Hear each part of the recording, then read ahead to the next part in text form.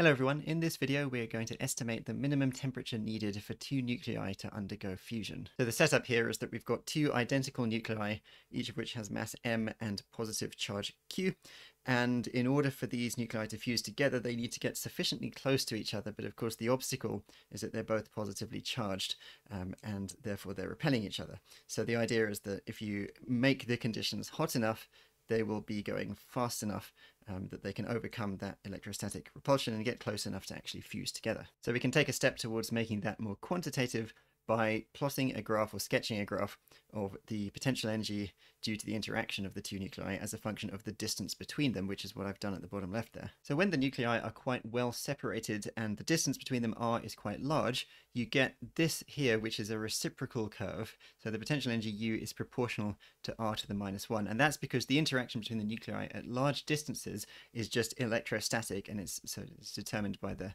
uh, Coulomb potential. So what's going on at small distances then? Well, suddenly, although the Coulomb potential would just keep going up like this, suddenly um, when the nuclei get very close to each other, the strong force comes into play. Strong force is a very, uh, well, strong, attractive, but short-ranged force. Um, and so it's it's sufficient to overcome the Coulomb repulsion as long as the nuclei are close to each other. So this is just shown very schematically here. Basically, you've got some large negative value. Um, we don't really care about the specifics, but it's it's larger negative, so it becomes attractive. Let me just write there that that's due to the strong nuclear force. Now, the range of the strong nuclear force is of the order of the size of a nucleus, which is sort of 10 to the minus 15 meters, one femtometer, or currently one fermi. Um, and so we can mark on that distance there at which the potential becomes attractive. Uh, let's call that distance d, and let's just say it's about one femtometer. One final bit of setup that we have to do before we start the actual calculations um, is to say something about the speeds of the two nuclei. So what we're going to do is imagine that we're in the rest frame of the nucleus on the left, so the one at the top top left there. And we're going to say that the nucleus on the right is coming in with a velocity of v. Now a sensible thing to do would be to take that velocity as the root mean square velocity of a particle in the Maxwell-Boltzmann distribution. Now technically it should really be the root mean square relative velocity because we're working in the rest frame of one of the nuclei. It can be shown that the root mean square relative velocity in the Maxwell-Boltzmann distribution is root 2 times the root mean square velocity in the same distribution. Um, but because we're sort of building an approximate model here, um, we're not working to a level of accuracy where a factor of root 2 is, going to make a difference. So let's just keep things simple and say that that v is the RMS velocity. So let's make a first attempt at actually coming up with an expression for the required temperature. So what we're going to imagine is that we have a particle coming in, the nucleus on the right coming in, um, approaching the nucleus on the left, and we're going to say that that nucleus uh, on my potential energy graph has to be just about where I've just pasted it there, right? In other words, it has to have an energy which is just sufficient for it to reach the peak to, to get past the peak of that potential energy curve and make it into the attractive region. What that means is that all of the kinetic energy that it initially has is converted into electrostatic potential energy and we can express that mathematically by saying that half mv squared, so its initial kinetic energy, is equal to um, the electrostatic potential energy at a distance of d, in other words, at this point here where the Coulomb potential has just reached its peak. So we're just going to equate that to q squared um, because they have the same charge divided by 4 pi epsilon naught d. But how is that related to temperature? Well, the temperature determines the typical speed of a particle. And so we can use the equipartition theorem to say that a typical value of half mv squared um, is 3 halves of kt, where k is the Boltzmann constant. Now that's a straightforward equation that we can just rearrange for t, and if we do that, we find that t is q squared over 6 pi epsilon naught kd, where d, remember, is 1 femtometer, or 10 to the minus 15 meters. So numerically, how big is that? Well, if we do this for hydrogen, so hydrogen nuclei, which is a single protons, um, then Q is just the value of the, the charge of a proton.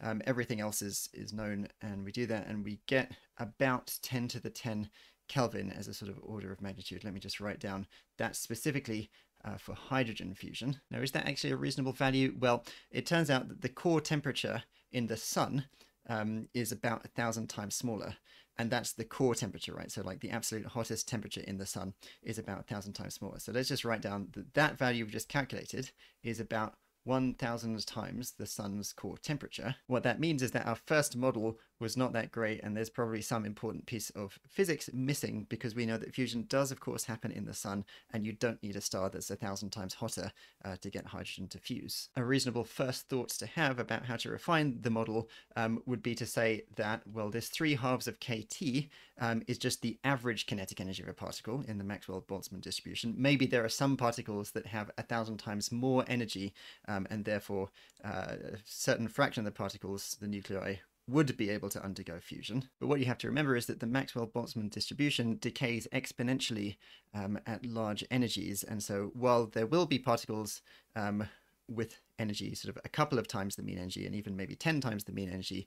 By the time you get to a thousand times the mean energy the probability of that happening is just going to be vanishingly small. And so that's not going to be able to sort of fix our model. So it turns out that the solution to this is that we need to include a little bit of quantum mechanics in our model specifically quantum tunneling. And so in our first model right remember we said that the incoming nucleus has to have just enough energy to get over the peak but in quantum mechanics, we have a probability of quantum tunneling.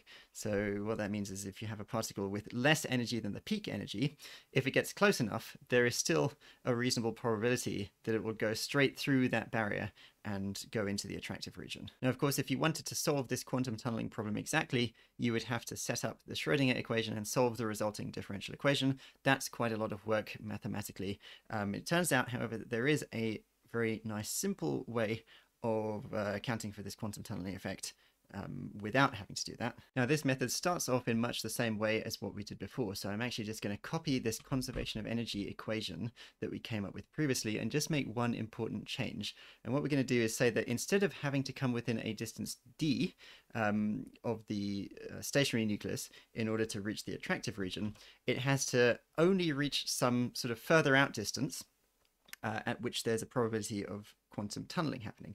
Now, what's the length scale? How do we figure out the length scale for quantum interactions to happen? Well, we could imagine that our nucleus, our particle behaves like a wave and say that the length scale is the de Broglie wavelength of that particle. So let's call that lambda and just remind ourselves that lambda, the de Broglie wavelength, is Planck's constant divided by the momentum of the moving particle. So let's explore the consequences of this model and see what temperature it predicts. The first thing we want to do is express the momentum in terms of temperature. Uh, it depends on temperature, of course, because the temperature determines the typical velocities um, of nuclei. So um, let's say that lambda is, well, it's h over mv. Momentum is, of course, just mv. Um, the h over m is straightforward. That can stay as it is. Then you've got this factor of 1 over v. Now we can write down 1 over v in terms of temperature using the equipartition theorem. Right? We know that half mv squared uh, typically is 3 halves of kt. If you rearrange that, you find that the typical velocity uh, is the square root of 3 kt over m, but then v is on the bottom of the fraction here, so we're going to do that upside down. So we're going to have a factor of square root of m over 3 kt, uh, then you combine the masses so that m only appears once and you get h over uh, the square root of 3mkt. So then all we have to do is take that expression that we just derived and substitute that for lambda in the conservation of energy equation, right? So what's going to happen? We are going to get q squared over 4 pi epsilon naught as our constant factor. Then it's again, it's 1 over lambda, so we're going to flip that whole thing upside down. So it's going to be the square root of 3mkt divided by h, that's still equal to 3 halves of kt. So let's do a few things with this. First of all, let's multiply by 2. Um, and that means your left-hand side is going to be, you're going to have a factor of q squared over 2 pi epsilon naught h. Um, let's also divide by 3k to get rid of this 3k here. You've already got a 3k inside the square root on the left-hand side, so when you divide by 3k, it's just going to end up under a square root in the denominator, and so you're going to have uh, the square root of m over 3k. Let's also divide by the square root of temperature so that this t disappears and the right hand side is just root t like that. Then all you have to do is square both sides and you're going to have your expression for t. So t is um, m q to the 4 and then you've got 12 and lots of squared things pi squared epsilon naught squared h squared Okay, now how reasonable is that value numerically? Well, again, if we talk about hydrogen fusion, we put the mass of a proton and the charge of a proton into that equation.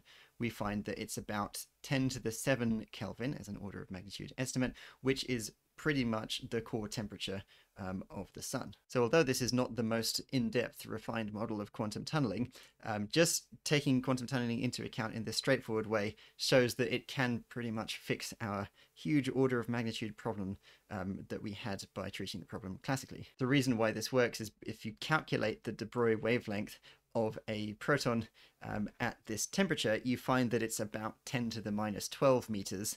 And so remember that previously we were requiring our proton to come in to a distance of one femtometer, which is 10 to the minus 15 meters, right? So in the quantum model, the particle uh, can sort of still be a thousand times further away than it was in the first model and still get through. Anyway, I think that's enough for this time. Thank you for joining me, and I'll be back with more physics videos soon.